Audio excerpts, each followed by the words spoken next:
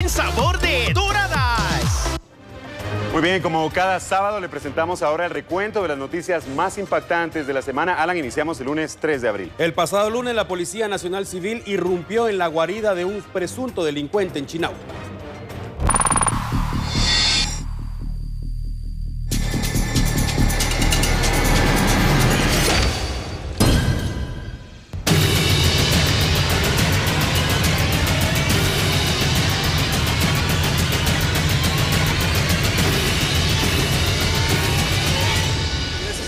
Comprometido de la Policía Nacional Civil, los cuatro monitores se rescataron con vida y fueron trasladados al Hospital Nacional San Juan de Dios.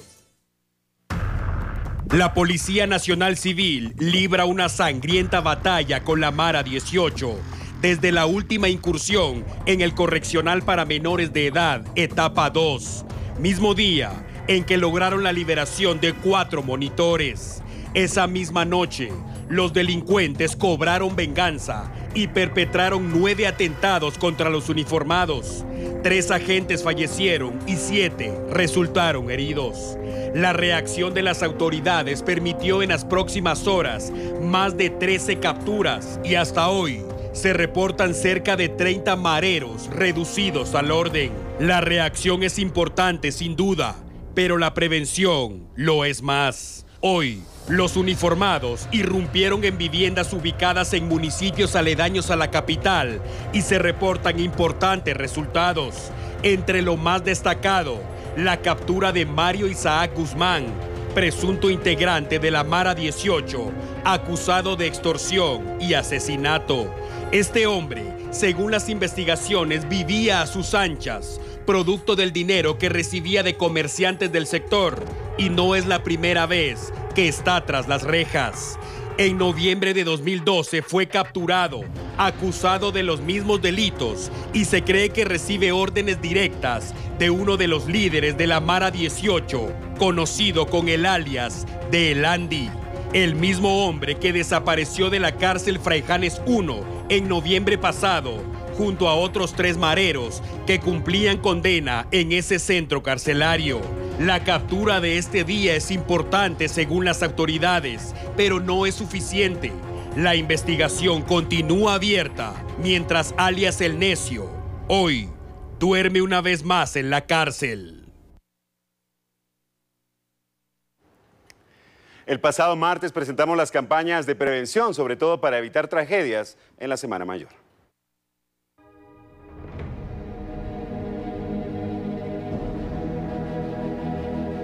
Atención, se viene la Semana Santa, señores. Muchos participarán de los cortejos procesionales. Otros preparan los sensuales bikinis para viajar al interior de la República en busca de playa, sol y bebidas mágicas. Algunos simplemente prefieren degustar de los platillos de la época y ver películas. Y obviamente no faltan los que empiezan la rumba el lunes santo y se curan el domingo de resurrección. Siempre lo decimos, usted, amigo televidente, es libre de decidir cómo y con quién invertir o gastar su tiempo y dinero. El punto es que lo haga con responsabilidad. No es un secreto que previo, durante y después de la Semana Mayor aumentan de manera alarmante los accidentes de tránsito y en la mayoría de los casos por el consumo irresponsable de alcohol. De hecho, lo estamos viviendo ya. En los últimos días hemos sido testigos de aparatosos accidentes de tránsito y es importante extremar las medidas de prevención para evitar engrosar la lista de víctimas mortales. Ahora bien, sabemos que muchos viajarán en autobús hacia los sitios turísticos de nuestro país y es determinante que los usuarios no aborden las unidades si ya van llenas. Olvidemos aquello de que si vamos a caber en el cielo, cabemos en el bus. Mentira, señores. Los pilotos de las unidades de transporte colectivo deben ser responsables y estar claros que en sus manos hay vidas inocentes. Precisamente respecto al tema, la Dirección General de Transporte ha iniciado ya los operativos para el control de las unidades. Se busca verificar que cumplan con la papelería en orden, que las unidades estén en óptimas condiciones, llantas, aceite, frenos, etc. Este tipo de acciones son muy importantes y también se tiene como objetivo evitar el alza al valor del pasaje durante la Semana Mayor.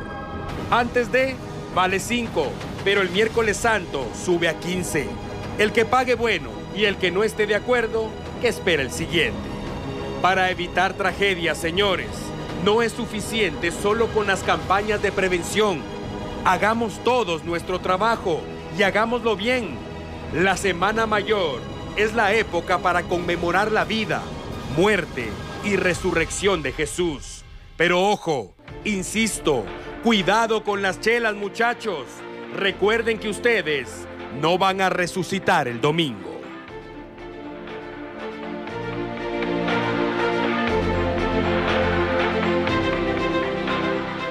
Estamos recordando las noticias más impactantes de la semana y el pasado miércoles definitivamente el show. Se lo llevaron una banda de integrantes de, de ladrones que fueron sorprendidos por una cámara de vigilancia en el occidente del país.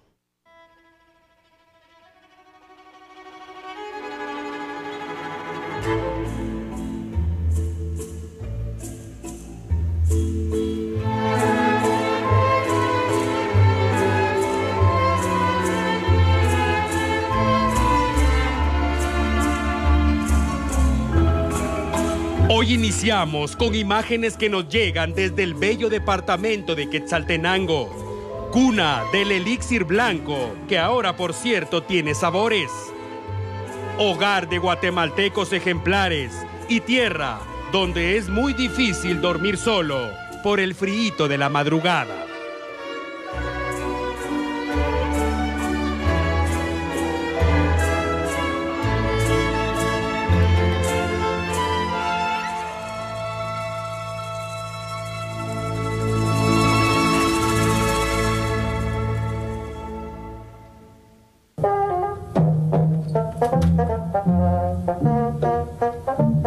Pero esta noche hablamos de las malas personas que andan por la ciudad altense.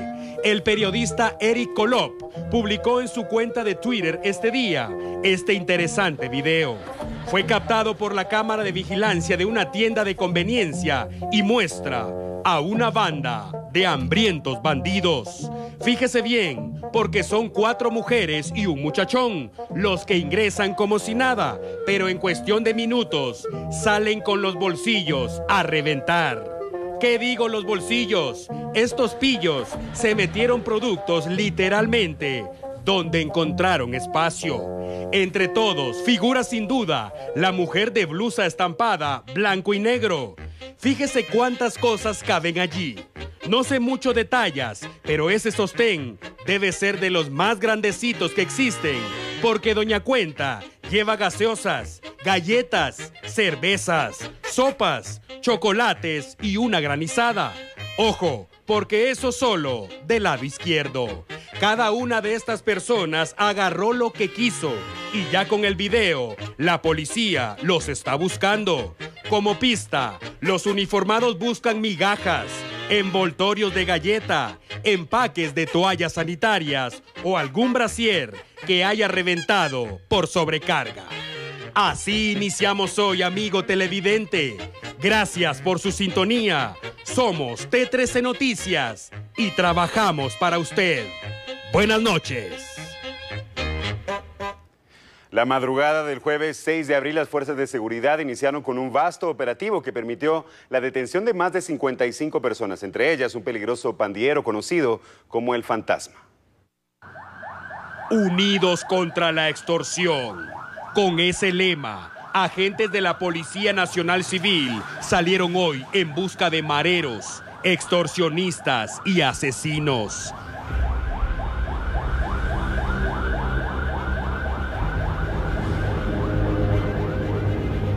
Solo un reducido grupo conocía los objetivos, las coordenadas y el impacto del operativo. Al recibir la orden, enfilaron y a las 6 de la mañana irrumpieron en más de 200 viviendas. Buscaban a integrantes de las maras que operan en nuestro país y a quienes no pertenecen a ellas, pero aprovechan el pánico para extorsionar. Se trata el barrio 18, la Mara Salvatrucha y dos grupos de oportunistas que aprovechando la psicosis del miedo que generan las pandillas han logrado amedrentar a comerciantes para lograr el cobro de extorsiones. Los allanamientos ocurrieron en siete departamentos, distribuidos de la siguiente manera. 181 en el departamento de Guatemala, 10 en Escuintla, 5 en Santa Rosa, dos en Suchitepeques, en Jalapa, Petén, Retaluleu y Chimaltenango, uno en cada jurisdicción. El resultado, más de 50 presuntos delincuentes arrestados. Se decomisaron listas de personas que estaban siendo extorsionadas, boletas de depósitos bancarios, dinero en efectivo, drogas, motocicletas, armas y municiones. Según el reporte de los altos mandos de la Policía Nacional Civil, tres estructuras fueron identificadas, investigadas durante seis meses y desarticuladas esta mañana. Estas personas, a base de extorsiones, habrían logrado amasar una fortuna de más de 4 millones de quetzales. Escuchó bien, más de 4 millones de quetzales en un año a base de chantajes y asesinatos. La Policía Nacional Civil libra una sangrienta batalla contra las maras y el operativo de este día sienta un precedente. La cacería sigue abierta.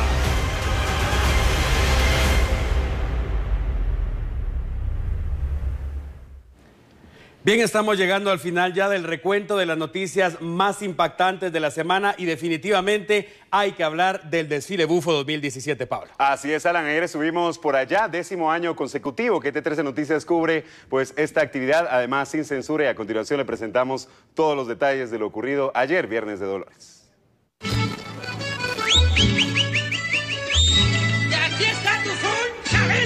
La historia inició hace más de un siglo y sigue viva. La huelga de Dolores es única en su género y desde hace 119 años rompe con todos los esquemas. Los estudiantes celebran 40 días de huelga de Dolores cada año y cierran la temporada con el desfile bufo. Durante el recorrido, lanzan consignas en contra de las autoridades guatemaltecas que no cumplen con su trabajo, como lo esperan los estudiantes. Llevan atuendos peculiares, muestran su creatividad a través de las carrozas que fabrican. Muchos se cubren el rostro y otros prefieren no hacerlo. No importa, hay libertad.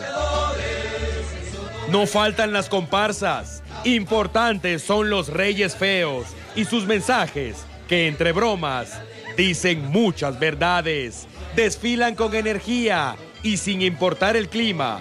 Bailan, cantan, denuncian, critican y proponen. El desfile bufo es sátira y es jocosidad. No existe otra actividad que permita esa apertura para denunciar sin temor alguno.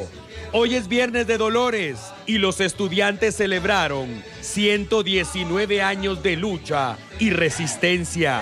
Hoy, una vez más, el corazón de la capital guatemalteca se vistió de gala para recibir con admiración el paso firme de quienes llevan capuchas negras mitad negro y mitad gris, capuchas verdes, capuchas amarillas, naranja, azules, rojas, capuchas blancas, capuchas celestes, mitad fucsia, mitad negro, café, mitad blanco, mitad verde y todos esos colores se fusionaron una vez más para hacer un solo bloque, porque solo existe una Universidad de San Carlos de Guatemala, porque hoy el mensaje del desfile bufo 2017 fue la unidad como punto de partida hacia un cambio que permita desarrollo integral en nuestro país.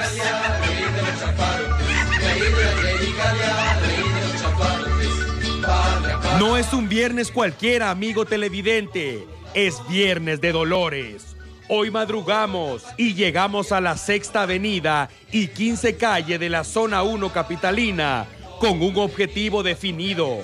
Celebrar por décimo año consecutivo que somos el puente entre el estudiante sancarlista y el resto de la sociedad guatemalteca.